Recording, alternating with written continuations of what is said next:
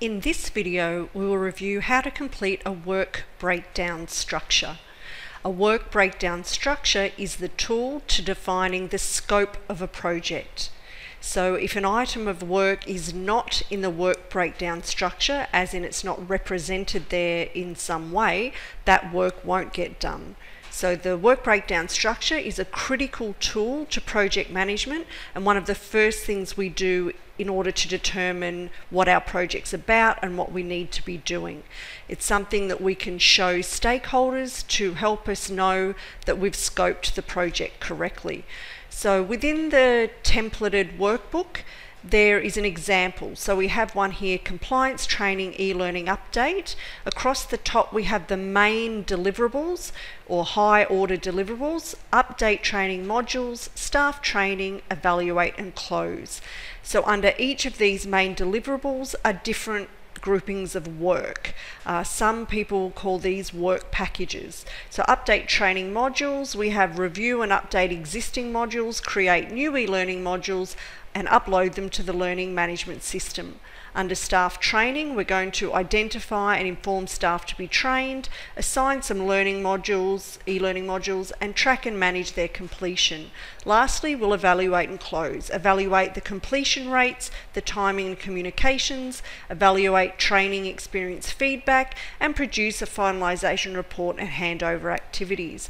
So each of these lower level work packages roll up to the top level deliverable. You'll also notice there is some coding. So we have deliverable 1.0 with 1.1, 1.2, 1.3, 2, 2.1, 2.2, 2.3 and so forth.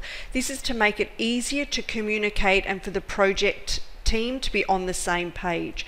So if I was holding a project meeting, I might be saying today we're talking about work package 2.1, which is identify and inform staff to be trained. And you'd be able to have a conversation and know that everybody's following uh, the same chunk of work.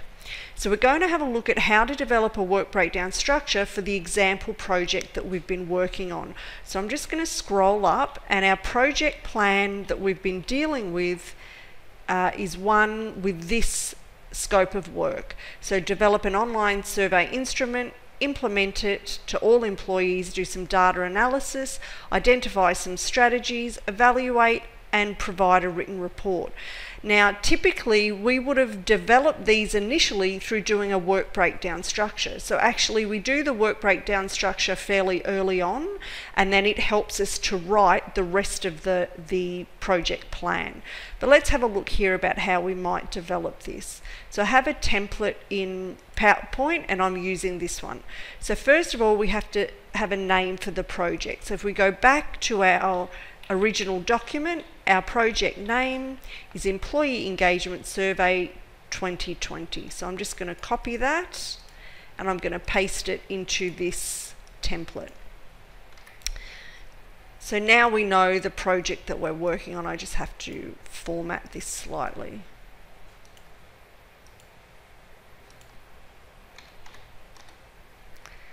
And there's our main uh, project title.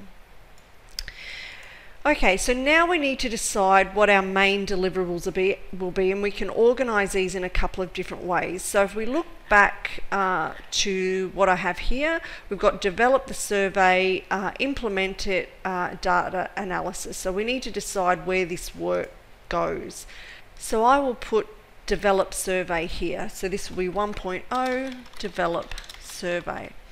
Now you can imagine there'll be some different things we need to do, some other work to develop that survey. So one might be to consult with the organ organisation. So my first chunk of work might be centred on some consultation. Um, then we might build a draft sur survey uh, and then we might finalise the survey. Uh, here there would be coding, so 1.1, 1.2, and 1.3. Each of these work packages would also have some different activity and tasks to do within them. So you can imagine for consultation we might have uh, the certain groups you want to consult with or desk based versus interview. Uh, we can decide on what other little tasks go here. In terms of drafting the survey, this might be specifying the the type of online software such as Survey SurveyMonkey. There could be a number of little tasks that go in here. Finalising the survey, for example, may also include some testing. So just imagine that there would be some subtasks under 1.1, 1.2 and 1.3. So for deliverable 2, which will be 2.0, we had to implement the survey. And remember, our scope of work was to all staff. So the work packages for implementing survey could be, for example, uh, 2.1. Uh, you might organise a distribution list if there wasn't already one available. Uh, you might also draft some communications and then you might actually launch the survey, for example. And once again, there would be a number of little subtasks under each of these. So one thing to notice here is that these all have fairly short names. So the boxes shouldn't have really big long names or phrases. And each box should be named differently so that we're also not confusing key stakeholders. Uh, under deliverable three, if we go back to our scope of work, we wanted to do some data analysis. So here, my three is data analysis or analyze data. Uh, and you'll have a number of different uh, work packages here. Hopefully this is making sense now. I won't go through absolutely everything. So um, once we've analysed the data, then we're going to have 4.0 which is identify strategies, uh, which would end up with those key strategies, the three that we were looking for. And then the last piece of work uh, is around evaluation, evaluating. So we evaluate the design. So I might call this one just evaluation.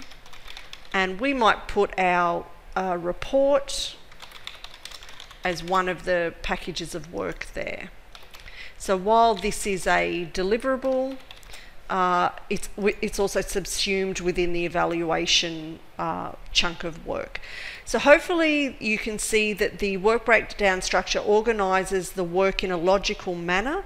Uh, we develop, we implement, we do some data analysis, we identify the strat strategies and we do the evaluation and include the report. So the most important thing is that our key scope, the things we say we're going to do, are represented within this work breakdown structure. So when you produce your work breakdown structure, just make sure it's logically ordered for your project. So this could be in terms of a process, which is this is more or less a process. First I develop a survey, then I implement it, then I analyze the data, identify the strategies, and then do an evaluation. So that follows a process. In some instances you might decide to do it more as a product style. So a product style is what we originally saw on this particular project.